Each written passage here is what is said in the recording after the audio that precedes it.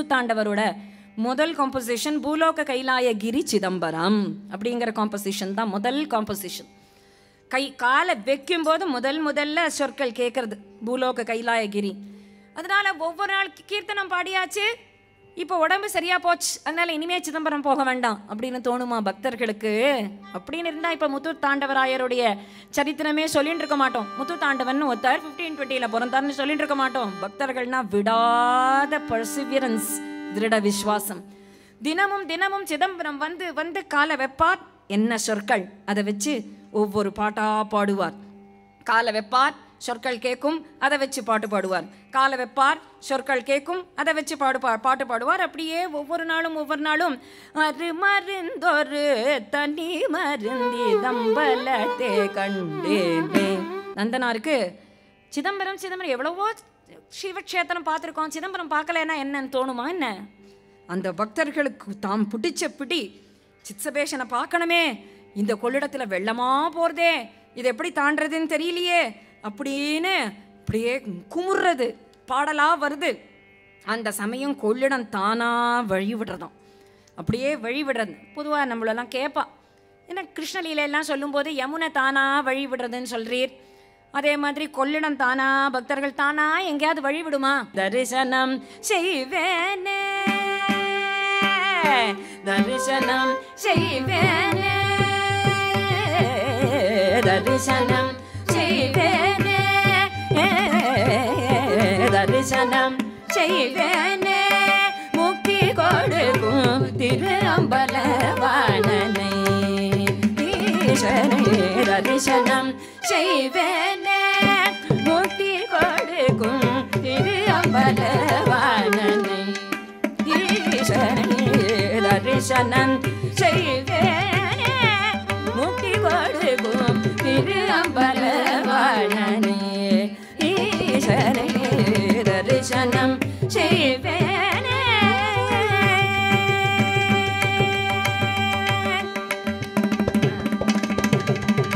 ஹரியன் இருவரும் அறியாத விமலனை அரியன் இருவரும் அறியாத விமலனை அரியன் இருவரும் அறியாத விமலனை அரியன் இருவரும் அறியாத पाठना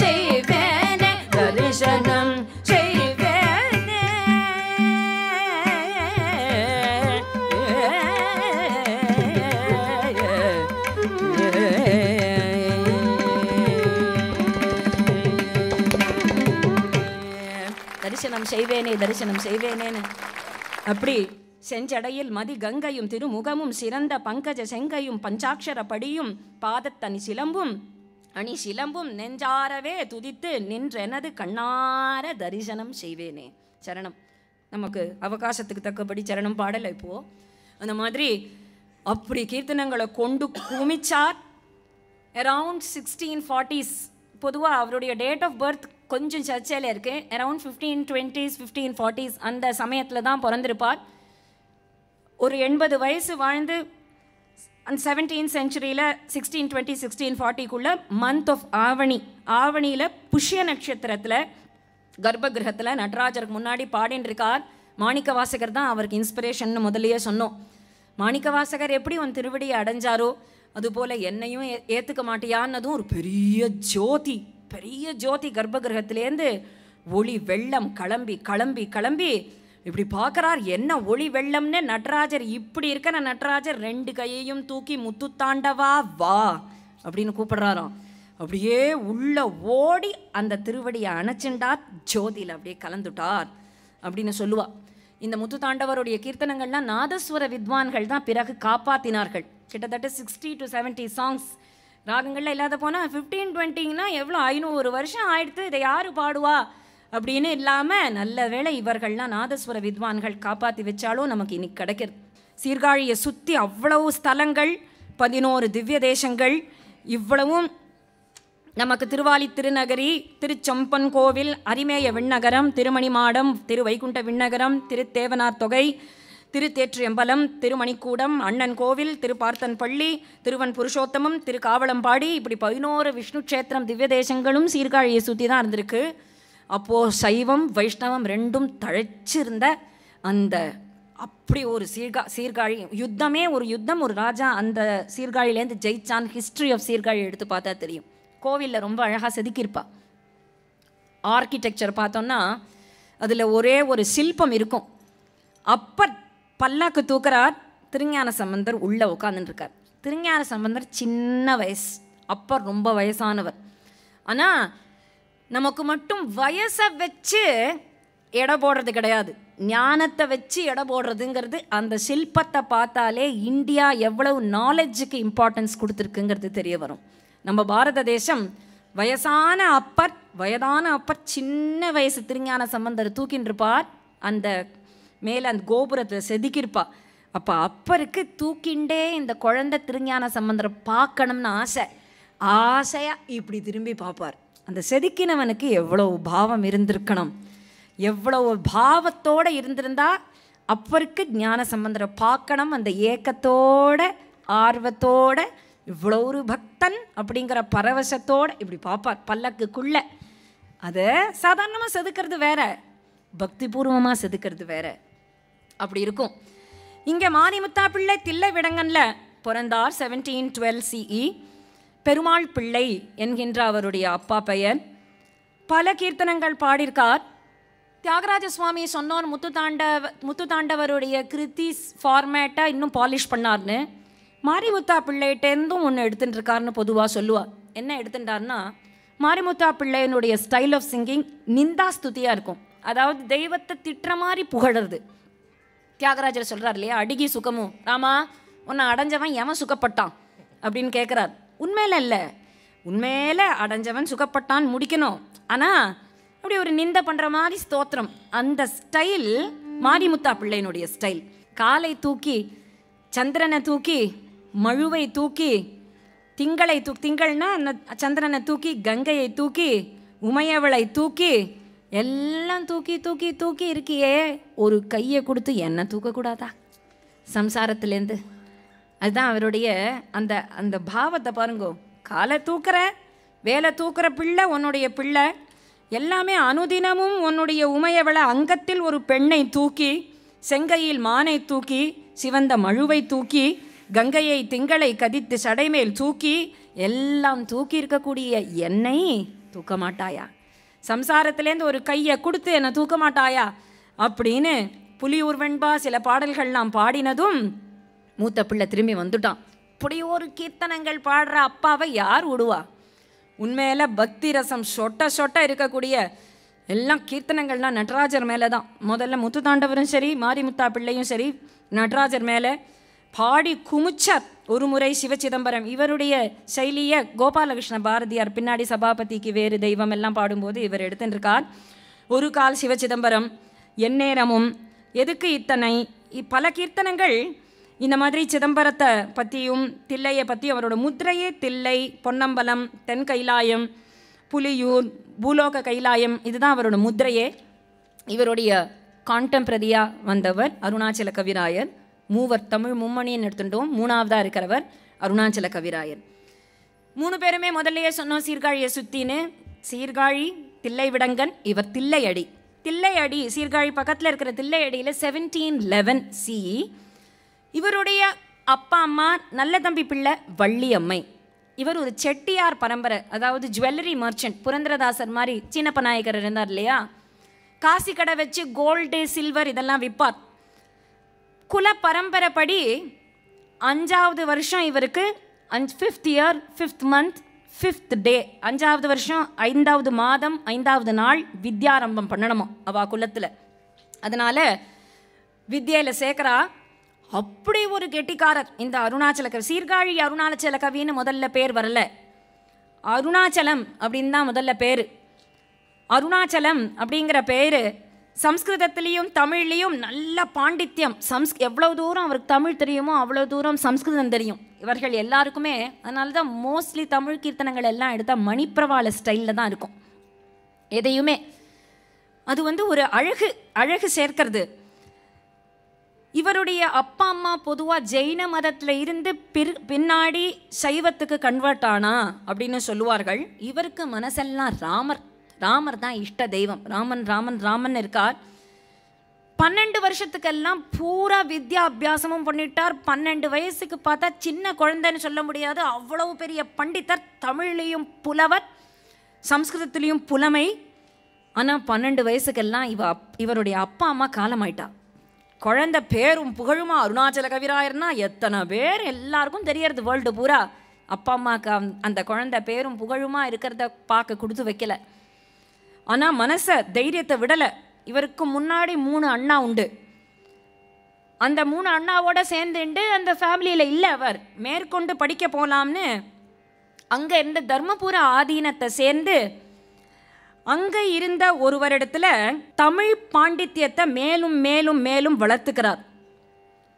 பதினெட்டு வயசு ஆச்சு அவருக்கு. பதினெட்டு வயசுக்கெல்லாம் இந்த தர்மபுர ஆதீனத்தில் இருந்தவர் பார்க்குறார். இவர் அம்பலவான ராயர்னு பேர் அவருக்கு. அம்பல அம்பலவாண கவிராயர்னு அந்த தர்மபுர ஆதீன தலைமையாக இருந்தவர். பதினெட்டு வயசுக்கு ஒத்தன் இவ்வளவு சம்ஸ்கிருதத்திலையும் தமிழ்லையும் புலமை இருந்ததுன்னா இவனை தலைமையாக நமக்கு அடுத்தது தர்மபுர ஆதீனத்துக்கு தலை தலைவனாக போடணும் அப்படின்னு தோணி அருணாச்சலா இங்கே வாயேன். இவ்வளோ ஒரு அறிவு மேதாவிலாசம் மெச்சூரிட்டி விஸ்டம் ரெண்டும் சேர்றது ரொம்ப கஷ்டம். அறிவு மேதாவிலாசம் ஞானம் இருக்கு. அடுத்தது நீ தர்மபுரத்துக்கு நீ தலைவனா இருக்கியா? அப்படின்னு கேட்குறார் இந்த ஆதீனத்துக்கு தலைவனா இருக்கியா?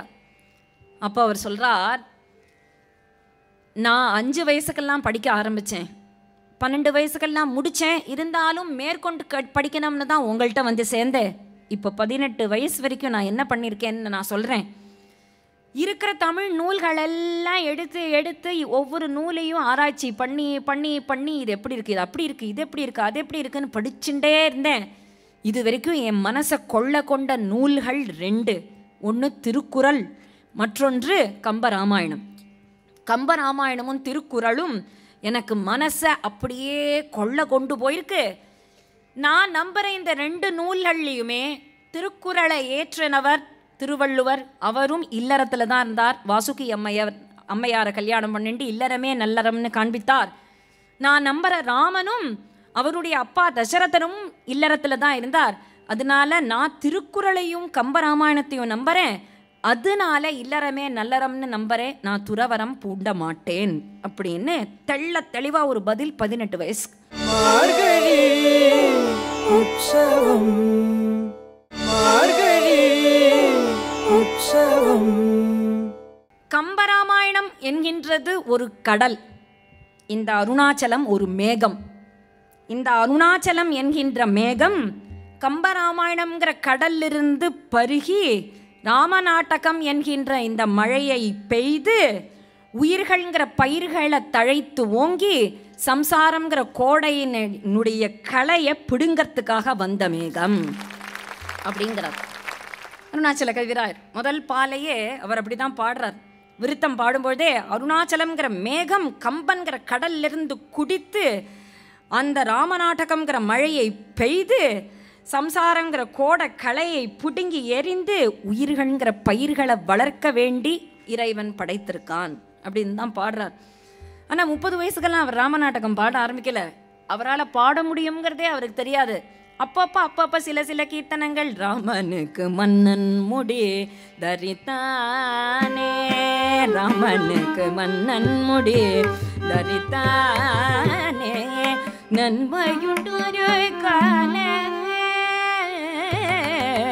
ராமனுக்கு மன்னல் முடி தரித்தானே நன்மையுண்டொரு காலே ராமனுக்கு மன்னல் முடி தரித்தாலே நன்மையுண்டொரு காலே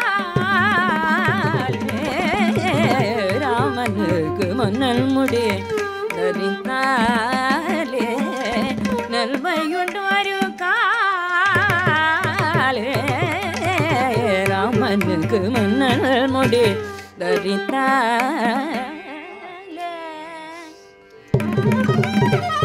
ஆ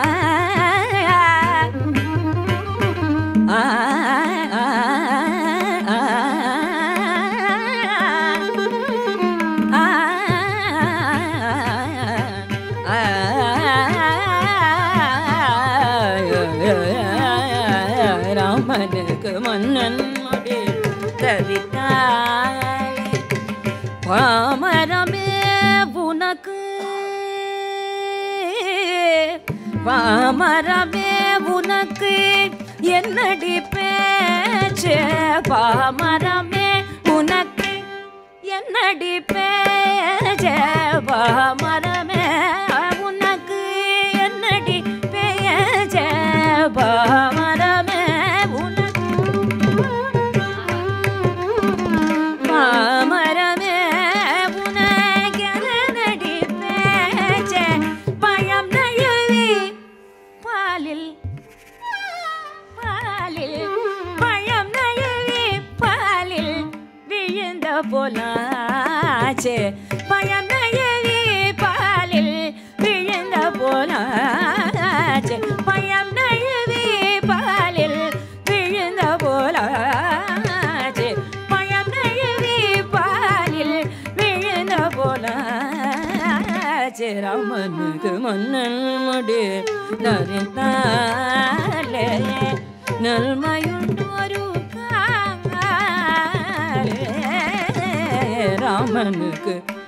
தன்முடி தரித்தாலே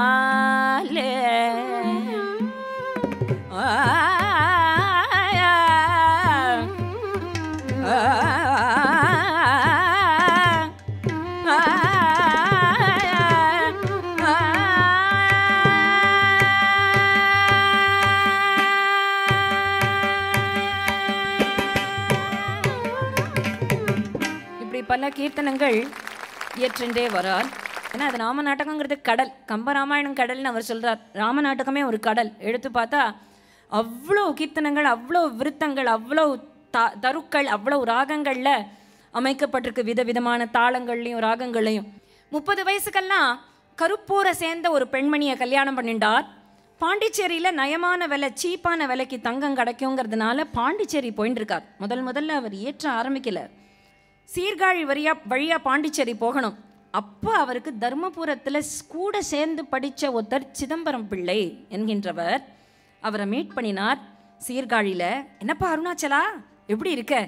நான் சீர்காழியில் தான் இருக்கேன். நீ என்ன பண்ணுற அப்படின்னு இப்படியே பேச்சுவார்த்தை பேசும்போது தமிழெல்லாம் ஆராய்ச்சி பண்ணிட்டு இருக்கேன் அப்படியா? சீர்காழியை பற்றி ஒரு பண்ணு பாட. அப்படின்னார். அவர் சாதாரணமாக தான் அருணாச்சலன். அருணாச்சலத்தை சாதாரணமாக எடை போட்டார். பள்ளு பாடேன்னதும் இவர் அடுத்த நாள் பாண்டிச்சேரி போகணும் தங்கம் வாங்கறதுக்காக. அதனால் ஏதோ ஒரு பையன் இடத்துல சீர்காழியை பற்றி தலைப்புராணம் சீர்காழி கோவை எல்லாம் கிட்ட கிட்ட கிட்ட கிட்டன்னு எழுதி அனுப்பிச்சுட்டார். ஒரு பையன் இடத்துல. போகிற போக்கில் எழுதி அனுப்பிச்சுட்டார். போயிட்டார். பாண்டிச்சேரி போயாச்சு.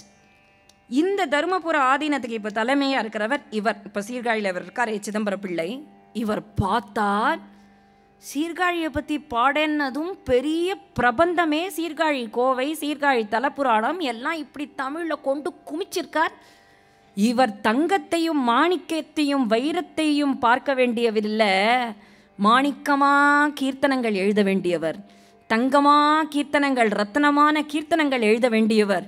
இவருடைய லைஃப்பை மாற்றணும் அப்படின்னு தோணி குரு கிருப்பை தானே? குரு ஈஸ்வரன். ரெண்டு பேரால் தான் லைஃப்பை மாற்ற முடியும்.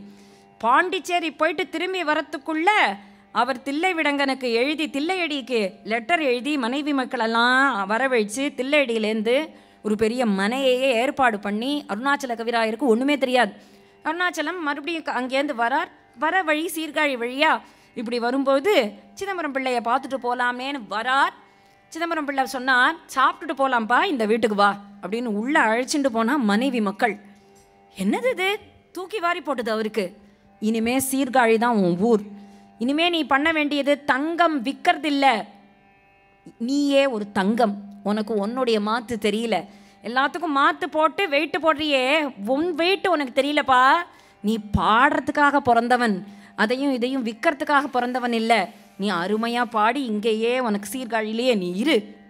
அப்படின்னதும் ஒரு 42 ரெண்டு வயசு இருக்கும் அவருக்கு. ஃபார்ட்டி செகண்ட் இயர் வரைக்கும் அது வரைக்கும் அவர் தில்லையடியில் தான் இருந்தார். Forty second to sixty seventh year வரைக்கும் சீர்காழியில் இருந்தார். அறுபத்தி ஏழு வயசுக்கெல்லாம் அவர் காலம் ஆயிட்டார் அறுபது வயசுக்கு ராமநாடகம் அரங்கேற்றம் ஆச்சு. அவருடைய லைஃப் ஹிஸ்ட்ரி படி. அப்போ ஃபார்ட்டி செகண்ட் இயரில் அவருக்கு ஒரு டிரான்சிஷன் ஒரு டிரான்ஸ்ஃபர்மேஷன் அப்படியே மாறிடுச்சு லைஃபே இனி தங்கம் பக்கத்திலேயே போகலை.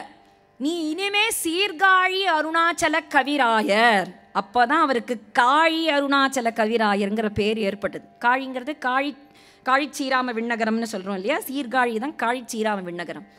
காழி அருணாச்சலம் காழி அருணாச்சலம்னு கூப்பிட ஆரம்பித்தா ஒவ்வொன்றா எழுதுறார். ஹனுமாருக்கு பிள்ளை தமிழெல்லாம் எழுதின்னு வரார். எல்லாம் எழுதின்னு வரார். அப்போது ரெண்டு பேர் அனுமார் பிறந்ததுலேருந்து அனுபவிக்க வேண்டாமா? அது இவர் தான் எழுதியிருக்கார். இதெல்லாம் க பொக்கிஷம். யாராவது தோண்டி தோண்டி எடுத்து எல்லாத்தையும் வெளியில் கொடுக்கணும். அப்படி ஒவ்வொன்றும் தொலைஞ்சு போக விடக்கூடாது. அப்படி ஒவ்வொன்றா எழுதின்னு வரார். பல பல கவிதைகள் எழுதுறார். அப்போ ரெண்டு சிஷ்யர்கள் கோதண்டராமையர் வெங்கட்ராமையர் ரெண்டு பேர் சேர்ந்தா. அங்கேருந்து வந்து அருணாச்சல கவிராயர்கிட்ட கம்பராமாயணம் படிக்கிறா. எந் எப்போவுமே ஜாதி நம்ம பார்த்ததே இல்லை. இது மேல் ஜாதியா கீழ் ஜாதி யார்கிட்ட ஞானம் இருக்கோ அவள்கிட்ட படிக்க வேண்டியதுதான். கோதண்டராமையர் வெங்கட்ராமனையர் ரெண்டு பிராமணர்கள். ஆனால் இவர்கிட்ட கம்பராமாயணம் கற்றுக்கிறா அப்போ தோணித்து இவ்வளவு நம்ம குருவுக்கு ஞானம் இருக்கே இவரே அருளி செயல்கள்லாம் பண்ணினா எப்படி இருக்கும்? நீங்கள் ஏன் ராமாயணம் எழுதக்கூடாது? மனசுக்குள்ளே அவருக்கு இந்த கேள்வி அவ கேட்டதுமே கோதண்டராமையர் வெங்கட்ராமன் டி டிசைபிள்ஸ் கேட்குறா மனசுக்குள்ள கேட்டுக்கிறார் அந்த கேள்வியை. இப்போ கேட்குறாளே என்ன எழுதலாமா? திருக்குறள் கம்ப ராமாயணம் நமக்கு ரொம்ப பிடிச்ச ரெண்டு கிரந்தம். திருக்குறளை எழுதலாமா ராமாயணம் எழுதலாமா? இது இலக்கியம் இது இலக்கணம் இது இலக்கியம். மேற்கொண்டு இது நீதி இது ஒரு கதை. அது பண்டிதனுக்கே புரியும் இது பாமரனுக்கும் புரியும். ராமகதை திருக்குறளுக்கும் ராம நாடகத்துக்கும் ராமாயணத்துக்கும் ஒரு கம்பேரிசன் பண்ணி பார்க்குறார். இது இலக்கண ரீதியாக இருக்கும் இது இலக்கியமாக இருக்கும். இது பண்டிதனுக்கே திருக்குறள் புரியும் பாமரனுக்கும் புரியும் ராமகதை. மேலும் தமிழ கீர்த்தனங்கள் ராமாயணம் பூரா எழுதினவர்கள் யாரும் இல்லை. தமிழில் ராமாயணம் பூரா எழுதினா ராகதாளம் அமைக்கிறதுக்கு இந்த ரெண்டு சங்கீத வித்வான் சிஷ்யர்கள் இருக்காளே இவா சங்கீத வித்வான். ராமரே அனுப்பிச்சிருக்கார். அப்போ ராம ராமநாடகம் அரங்கேற்றம் எங்க கம்பன் அரங்கேற்றம் பண்ணாரோ அந்த ஸ்ரீரங்கத்தில் தாயார் சன்னதிக்கு எதிர்த்தாப்புல நம்ம அரங்கேற்றம் பண்ணணும் அப்படின்னு தோணி போயிடுச்சு. நினச்சதெல்லாம் நடக்குமா என்ன? ஸ்ரீரங்கத்தில் தாயார் சன்னதிக்கு எதிர்த்தாப்புல போனால் இப்போ கூட போர்டு இருக்கும். கம்பன் ராமாயணம் அரங்கேற்றிய இடம் அப்படின்னு இருக்கும். இவருக்கு தோணித்து கம்ப ராமாயணத்துலேருந்து நம்ம எடுக்கிறதுனால நம்ம அரங்கேற்றமும் இங்கே தான் நடக்கணும். ராமநாடகம் எழுதிட்டோம். அர்ச்சகர்கள்லாம் பர்மிஷன் கொடுக்கல. கம்பன் ராமாயணத்தை அரங்கேற்றம் பண்ணார்னா அவர் கம்பநாட்டாழ்வான் கம்பநாட்டாழ்வான் அப்பேற்பட்ட மகானாக்கம் அப்பேற்பட்ட கவியாக்கம். அவரோட பாக்களும் அவருடைய படலங்களும் அவள் அவர்களுடைய வாக்கும் உன்னுடைய வாக்கும் ஒன்றாயிடுமா அதெல்லாம் பாட முடியாதீங்க. எப்பேற்பட்டவர் கம்பன் நீங்கள் இங்கே அரங்கேற்றம் பண்ண முடியாது. அப்படின்னதும் நேர வீட்டுக்கு வந்து அழலையாம். நேர ஸ்ரீ ரங்கநாதருடைய கோவிலுக்கு போய் உள்ளே போய் ரங்கா அவ்வளவுதானா? ராமநாடகம் கேட்க போகிறது இல்லையா நீ? கம்பன் ராமாயணம் அரங்கேற்றம் பண்ணும்போது ஜல் ஜல்னு புறப்பாடு பண்ணிண்டு அங்கேருந்து வந்து அத்தியனோத்சவம் மார்கழி மாதம் ராப்பத்து பகல் பத்து ஆழ்வார் பாசுரங்கள் கேட்குற மாதிரி கேட்டியாமே? இப்போ நீ கேட்க மாட்டியா? என்னோட ராமநாட்டம் கேட்க மாட்டியா? ஏன் படு நான் பாட்டுக்கு புலம்புறேன் நீ பாட்டுக்கு படுத்துன்னு இருக்கியே என்ன உனக்கு கால் வலிக்கிறதா? ராம அவதாரத்தில் நடந்து நடந்து மாரீச்சன் பின்னாடி ஓடி ஓடி வலிக்கிறதா? சீதையை தேடி தேடி ஓடி ஓடி வலிக்கிறதா? கிருஷ்ணாவதாரத்தில் அசுரர்கள்லாம் வதம் பண்ணி நடந்த கால்கள் நொந்தவோ?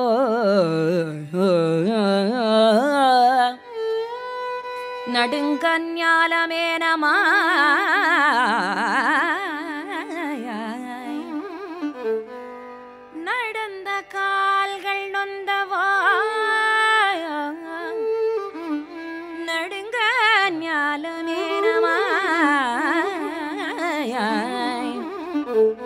இடந்தமை குலுங்கவா?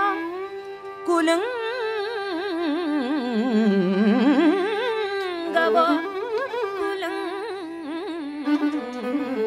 குலுங்கவோ? குலுங்கவோ? குலுங்கவோ? குலுங்கவோ? இடந்தமை குலுங்கவோ? விலங்கு மால்வரை சுரம்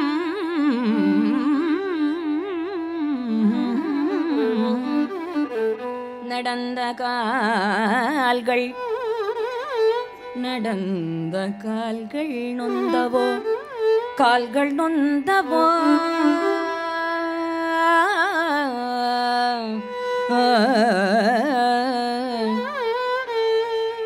கடந்த கால் பரந்த காவிரி. காவிரி கடந்த கால் காவிரி கரையே குடந்தையுள். காவிரி கரையே காவிரி குடந்தையுள். காவிரி கரை குடந்தையுள் கிடந்தவாறிந்திருந்து பேசுவாழி பேசும்.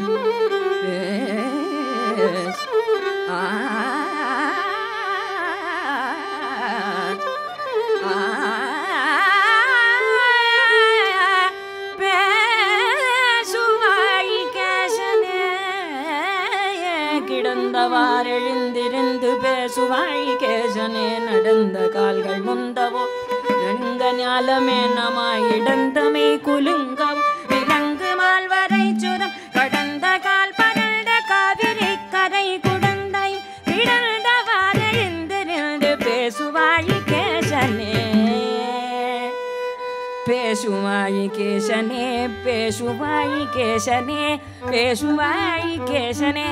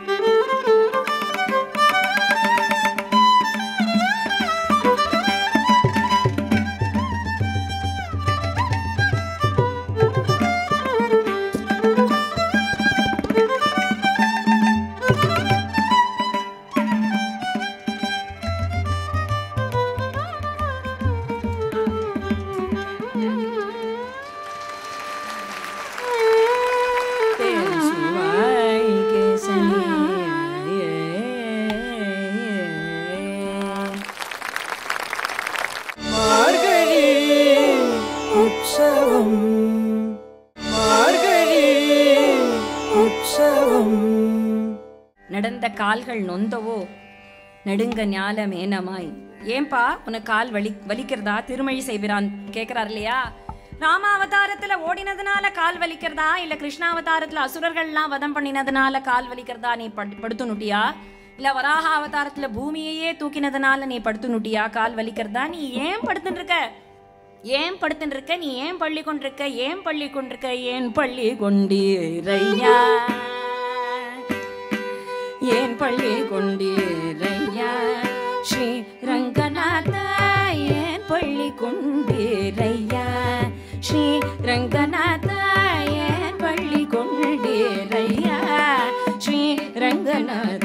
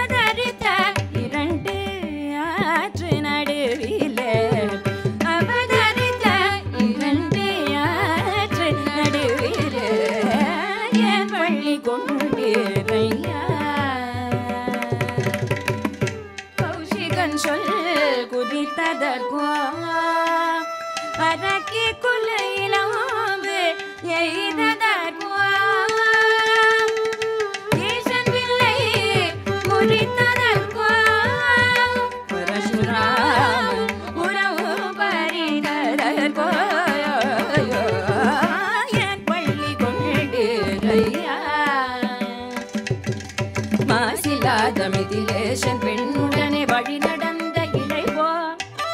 மாசில்லாத புருஷன் பெண்ணுடனே வழி நடந்த இளைவோ? தூசிலாத புகனோடத்திலே கங்கை கரை கிடந்த இளைவோ? தூசிலாத புகனோடத்திலே கரை கிடந்த நீ சுரமாம் சித்திரக்கூட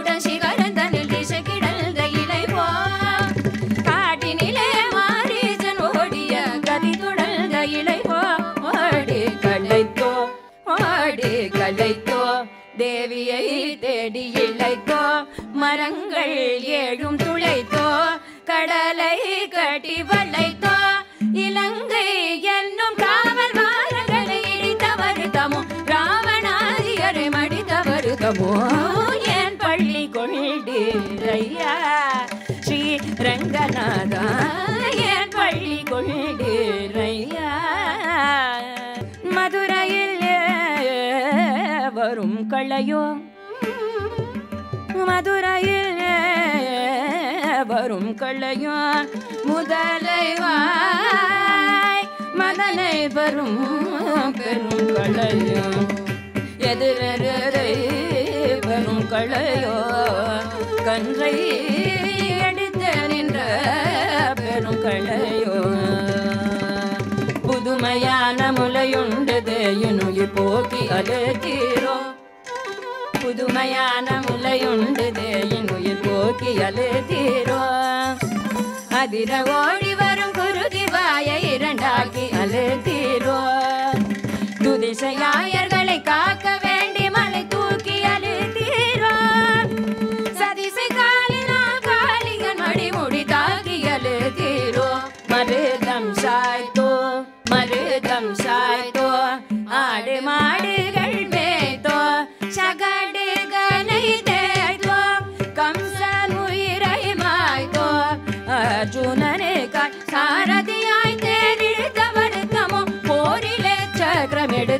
எடுத்த வருத்தமோ என் பள்ளி கொண்டேரையா ஸ்ரீ ரங்கநாதா என் பள்ளி கொண்டேரையா கபரசர ஓடி களைத்தோ ரிமணி பகாரி சட்னி சட்னி சரி மருதம் சாய்த்தோ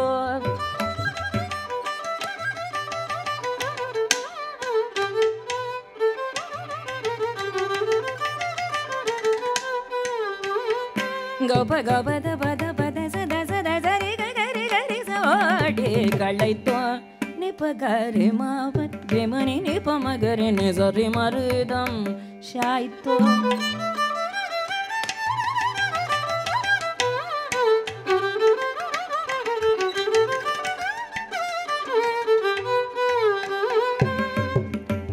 da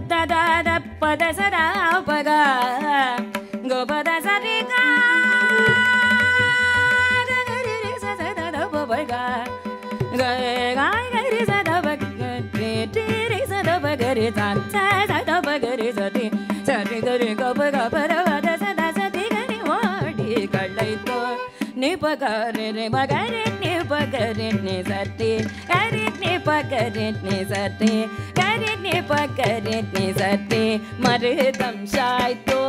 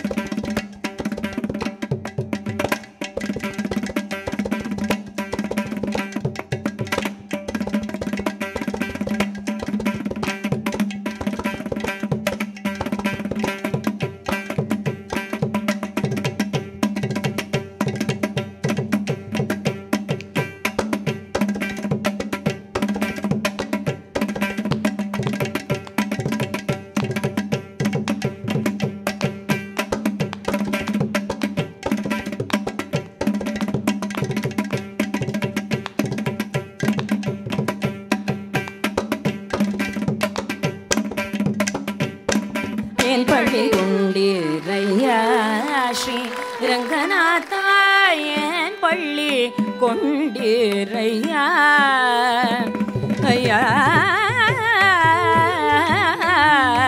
ஐயா.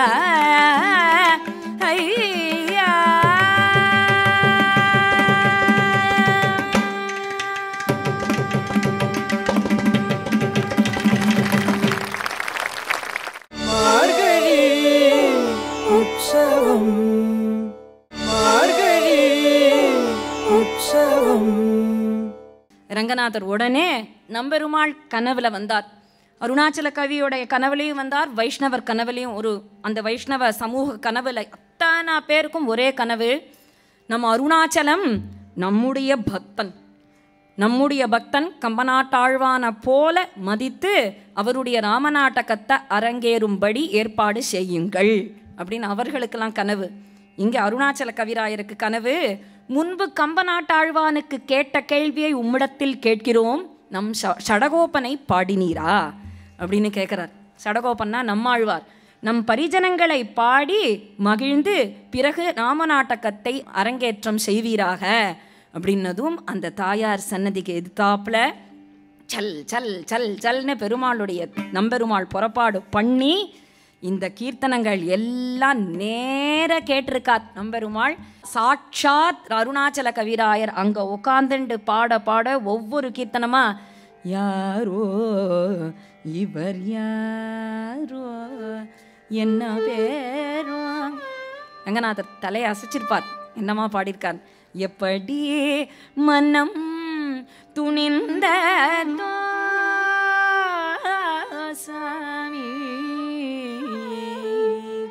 ஒவ்வொரு பாட்டா கண்டேன் கண்டேன் கண்டேன் சீதையை கண்டேன் ராகவா.